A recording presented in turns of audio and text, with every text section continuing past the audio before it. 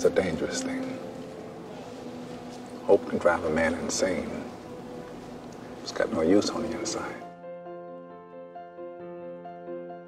Unlike most species that exist purely in the moment, human beings are unique in their propensity to hope, to aspire, to believe. And this likely stems from the reality that, unlike other species, we live with the awareness that we will die one day. In order to not let this grim reality hamper us in our day to day life, we need hope in tomorrow, the idea that better is coming. Whether paradise or heaven is a time, a place, an idea, a lifestyle, the belief itself nourishes our soul to give our lives a sense of meaning and direction, making it easier to tolerate present tense pain or dissatisfaction. Over the last year, as the world has endured a devastating pandemic, everyone lost something. Lost time, lost money, lost people, and for the most part, there was nothing you could do about it. You just had to wait and hope that one day life will resume again and things will improve. In Frank Darabont's The Shawshank Redemption, hope is what saves Andy Dufresne.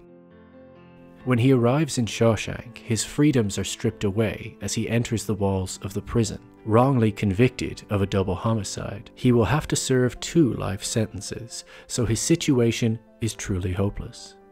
Everyone on the inside also claims they too were innocent of the crime they were convicted of, showing us that it doesn't matter if you deserved it or not, that you will serve your time here regardless, making Shawshank symbolize life's greatest adversity as life itself is a death sentence. The question becomes what are you going to do with your time here? For most, they choose to just serve their time, play little games to distract themselves, and accept the bleak situation for what it is. They won't dare to hope for more, because what good would that do? They can reflect on the past, on what they've done to get stuck here, but they can't turn that into an aspiration of who they want to become. But due to Andy's innocence, he feels as if there should be more to his life than merely existing. He wants to feel something more than just fear. He wants to feel in touch with his humanity and believe that tomorrow could be better. So Andy seeks out opportunities to make his life have more meaning. He offers to do the guards' taxes to curry favour, then using that favour to make his friends' lives better. Rather than just accepting the bleakness of his situation, Andy tries to unlock the humanity within his fellow prisoners so they can temporarily feel free, whether it be the simple joys of drinking a cold beer on a hot roof after a hard day's work, or listening to opera music through the speakerphone. These small things are what make each day worth living. For trying to shine a light of hope in the prisoners' lives, Andy is punished by being forced into isolation in the darkness. But as the years go by, his belief that prison shouldn't just be time wasted, but be about working towards a better tomorrow, causes him to improve his surroundings as well as the lives of everyone in Shawshank. His belief in the future inspires him to write persistent letters to fundraise more money to renovate the old prison library so that the inmates have a chance to indulge in reading books and listening to music, stimulating their senses, as art is what feeds the soul. Art is what allows the individual to think beyond themselves, to imagine, to hope, to believe. Belief is a theme throughout the story, Warden Norton considers himself a man of God, even perceiving the presence of a Bible in Andy's cell as a signal that he is a good person. But that Bible is just a veneer for both men's real motivation. Warden Norton's biblical quote in his office is actually a cover for his true guidance in life, as behind the frame is a safe that holds what he really values money. And for Andy, the inside of his Bible is hollowed out to conceal a rock hammer, as Andy's real belief is in his future outside these walls, and he invests in that idea every night. For 20 years, no matter how dark the day or how bleak the outlook, he secretly carves just a little bit deeper through the wall until all of his hard work and dedication is enough to set him free. But for others, like Brooks, rather than wishing for a way out of their dark situation and hoping for freedom, they made peace with their surroundings and settled into their circumstance. This made Brooks wholly unprepared for life in the outside world, as he had begun to value freedom so little that he didn't know what to do with it when he had it. This mindset encapsulated in his decision to tame his baby crow Jake to stay with him throughout his life inside Shawshank, rather than setting him free to fly outdoors where it belongs. For Red, while serving his life sentence, he developed a similar mindset to Brooks, not entirely making peace with being inside, but not allowing himself to dream of the outside, as he fears that hope would only lead to disappointment, which would then lead to more pain. Andy tries to share his dream for the future with Red, to one day join him on the Mexican coast at Zihuatanejo.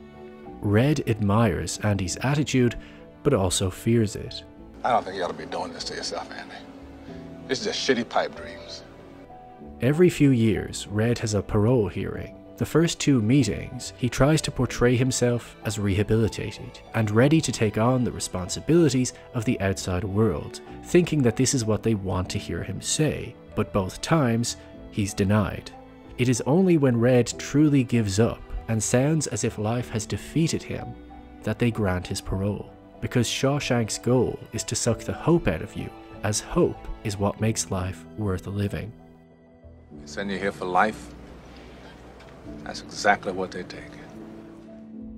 Red is then sent on the same trajectory as Brooks the same bus, the same job, the same bedroom. The outside world is in many ways just a prison in itself, built around rules, responsibilities, and routine. Red finds himself feeling tired and scared all the time. His life has no meaning out here, just like he didn't allow his life to have real meaning in Shawshank. Until he follows Andy's instructions and finds his letter. Andy provides a vision for the future, a dream to share, and having been inspired by Andy's courage and belief so far, Red follows his path instead of Brooks as he now realizes that the choice on the outside world is the same as the choice was in Shawshank. Get busy living or get busy dying. Hope is so contagious that even inside Shawshank, just knowing Andy had escaped was enough to give Red flashes of possibility of where he might be, what he might be doing, who he might be with. I have to remind myself that some birds aren't meant to be caged. He never expected he would have the patience or belief to follow in his footsteps. But each time Red pulls further in Andy's direction, the world becomes more open and free. The bright, majestic images that could previously have only been imagined begin to become reality. Andy Dufresne took 20 years to slowly tunnel his way through the prison walls of Shawshank. He then had to crawl through 500 yards of shit in the darkness with nothing but a flashlight of hope to guide him so that he could finally earn his freedom. And once he got it, he made the most of it for the rest of his life. And with time, more followed in his footsteps, sharing in his vision for a better tomorrow. Because no matter what you're going through, no matter how dark things get in your personal prison, hope is what sets you free.